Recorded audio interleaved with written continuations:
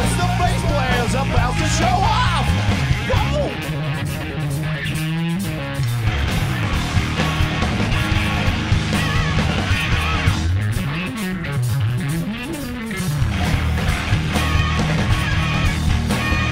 Hello there, Chris Dale here, heavy metal bass player. Um, today I want to talk to you a little bit about um, two-handed tapping on a bass. Uh, we did a little bit in that song Rebel, and what you should know, the very first thing, is it's absolutely pointless and useless and nobody ever wants to hear two-handed tapping on a bass, apart from me. Um, so you will find it very hard, musicians uh, don't want to hear it in their bands. Um, and also because it's so quiet, when you're hitting a bass like that, that's quite loud. When you tap like that, that's a bit more quiet. So um, you, you'll find it hard to be heard. Um, so you can either use some kind of crazy compression system or I sometimes use a little distortion. I've got a rat pedal which I'm going to use a bit later on in this video.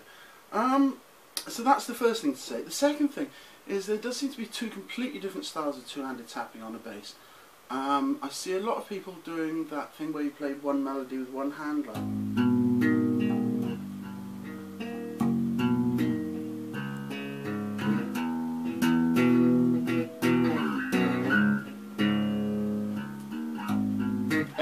Um, yes, that can be done. It's all quite funny, I suppose. But the point is, that piece there, for example, would probably sound better on a 12-string electric guitar or Stu Hamm's Moonlight Sonata definitely sounds better on a piano. It's funny to play it on a bass, but it's not really what it's for, is it? So that's kind of a bit unnecessary.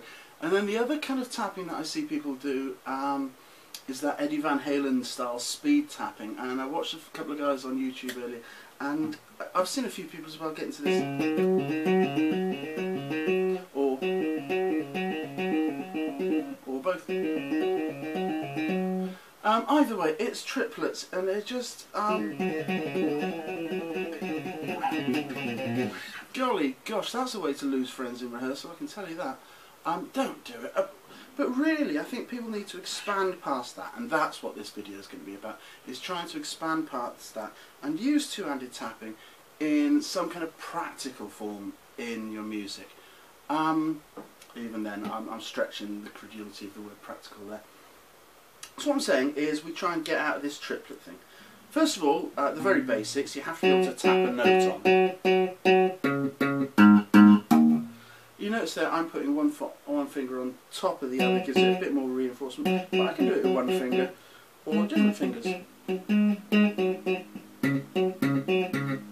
Um, then, the other thing is obviously you have to be able to hammer on and pull off.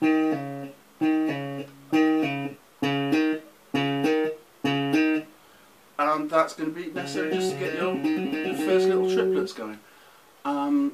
Now to get away from those triplets, the very first thing we can do is we can alternate what we're doing with this hand. Um, because we don't have to keep hitting one note per triplet. Um, and even just um, maybe doing a double hit there. Um, I'll tell you what, that takes you straight into um, Addicted to That Rush, Mr. Big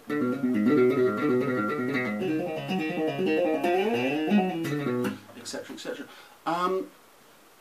Again, they could have just done that as just... And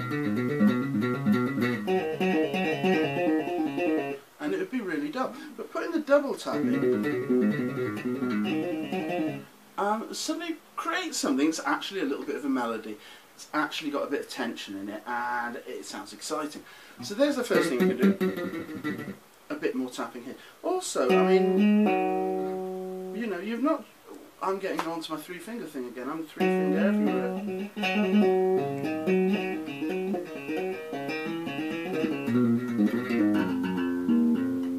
So, again, think more fingers here. Then, of course, when I see people doing this, I think, well, that's bizarre because you don't play bass like this all day. You've got more fingers, haven't you? So why not use them in the tapping? And this is where I think we start coming to come into a bit of our own.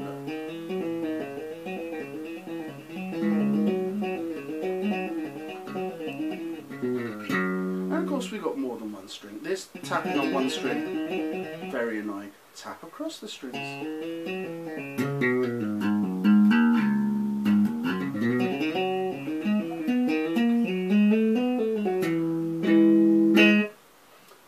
Starting to get somewhere because now we can actually um, move around the fretboard as we would do when we're playing normal two-handed uh, bass playing. Um, we never just stay on one string in one position, do we, in bass playing? We, we can move around. And now, with this,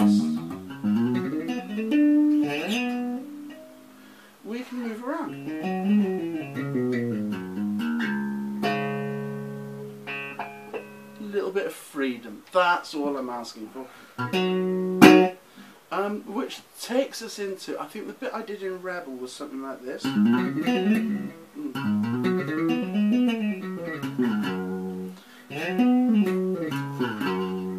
Um, and I think the bit in I Play Bass, the, the bit that sometimes confuses people, uh, goes like this.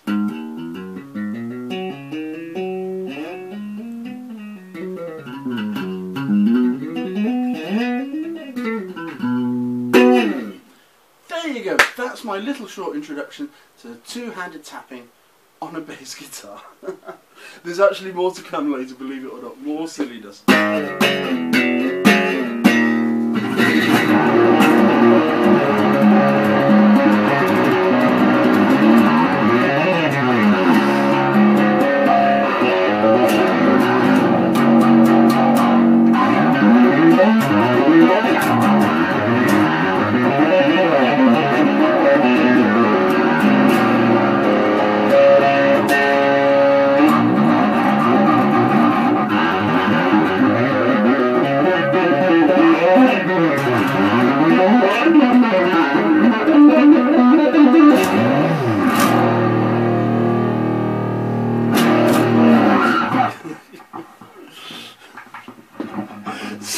makes me laugh.